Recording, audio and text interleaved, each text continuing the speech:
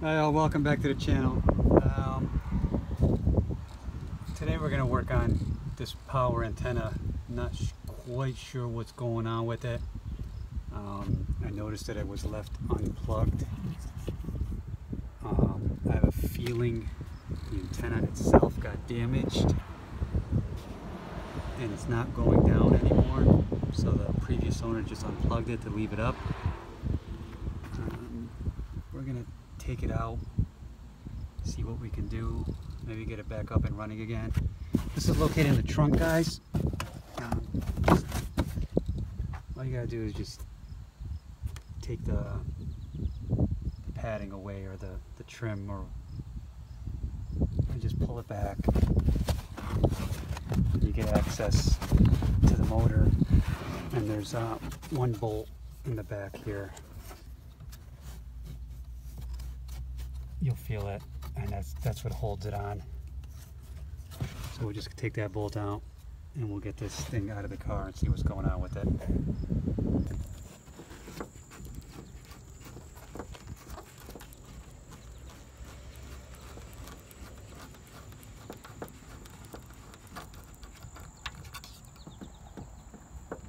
Yeah, I gotta, un I gotta unbolt it from the bottom. More of this out. Ten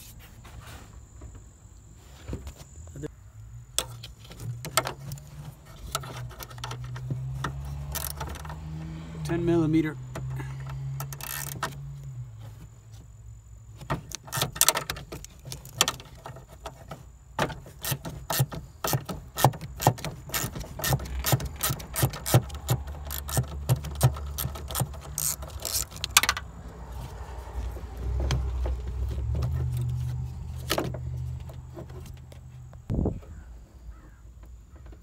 Two of them. Hold on. We gotta get the ground wire out. See it right there? And then um, hopefully we got room to pull it out with the antenna still up. mm. All right, let's take the ground wire out.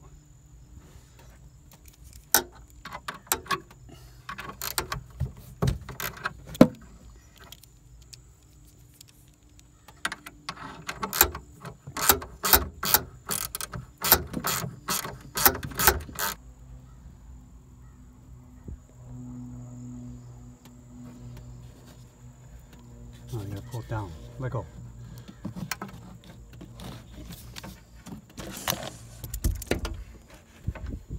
Another ball. Another ball. Yeah.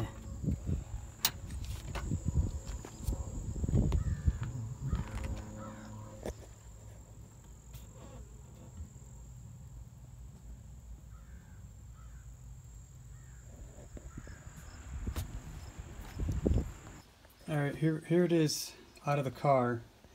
I've already taken most of it apart, but just to show you what I went through.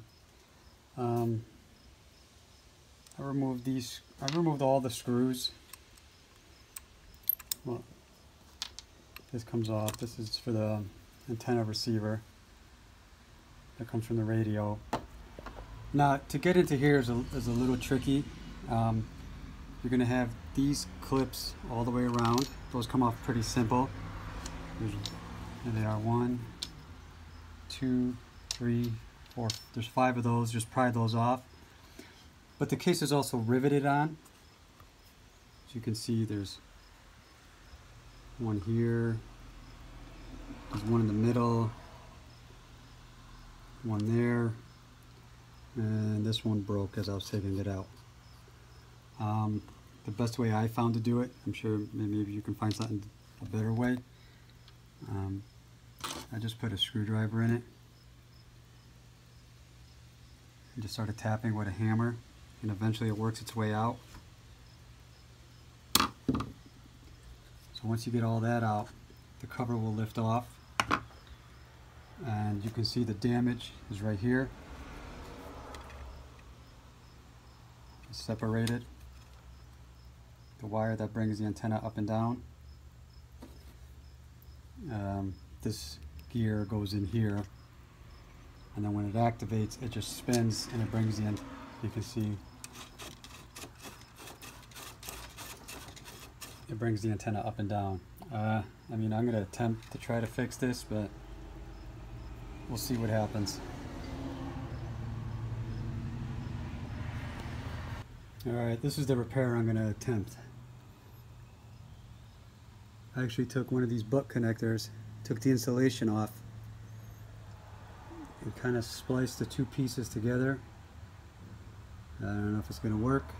Um, I'm going to wind it back all up, put it all back together, we'll get it on the car, and we'll see one way or another if it goes up and down. Alright guys, unfortunately um, it didn't work. I, I didn't think it would. Um, it kept breaking. Just, I just gave up. It wasn't worth going crazy over. Um, I put it back in. I just left it, as you can see, one with the red wires. You just leave that unplugged so that way it doesn't burn out the motor trying to get it up and down all the time. Um, plug back your antenna and this one you can just leave plugged in. Um, I did cut the rest of those, um, I cut the cable out. That way if I want to, I can at least go up and down manually. I mean, I can't get it all the way down. I found out that after taking it apart, this antenna was broken off and it seems like it was just shoved back in there. So I can't force it all the way down. That's about all it goes. Um, I think I just pick it up on my own. If I find one at the junkyard, maybe I'll put one in. If not, uh, the radio still works. So, hope that uh, helps somebody out. Thanks for watching, guys.